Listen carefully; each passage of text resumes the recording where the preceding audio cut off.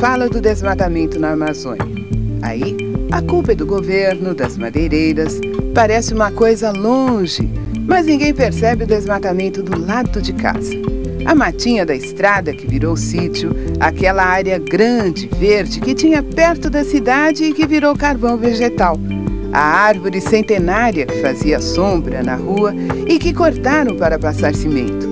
Resolvi fazer minha parte. Tenho um jardim em casa e planto mudas de árvores. Depois dou para escolas, para quem tem casa grande, fazenda, sítio.